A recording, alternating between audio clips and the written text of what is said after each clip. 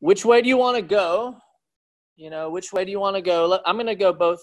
I'm going to cut it from both directions and make sure we get the same answer.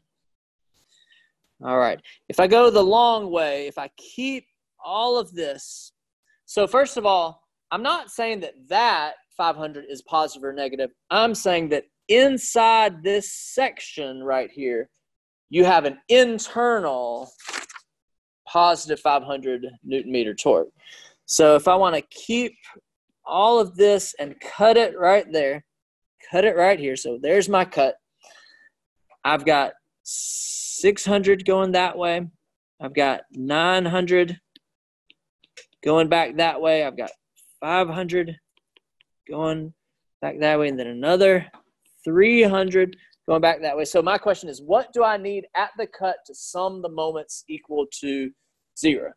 So it looks like I've got 1400 going that direction, but only 900 going that direction. So in essence, I could erase all all four of those and replace that with I've got 500 going kind of up underneath here, going that way. So what do I need to counteract that?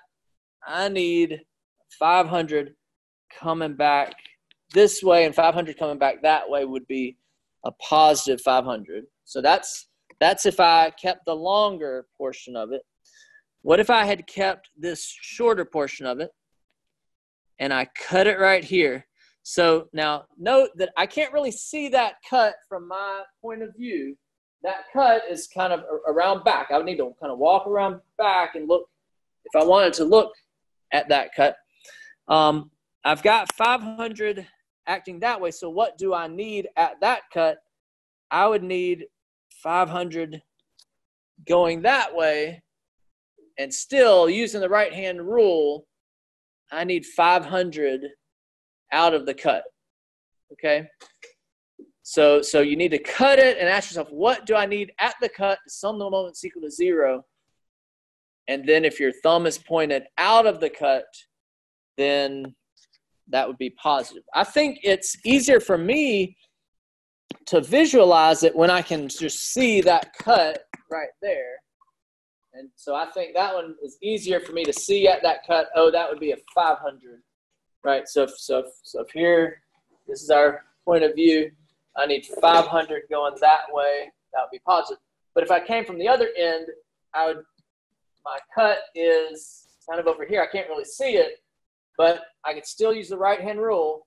Ask myself, what do I need right here? Okay. And that's internal. Do y'all see? And we kind of did a little bit of this in dynamics. Do you see why that's an internal torque one side feels equal and opposite what the other side feels. So when we have that whole piece together, we don't draw any torque in between here.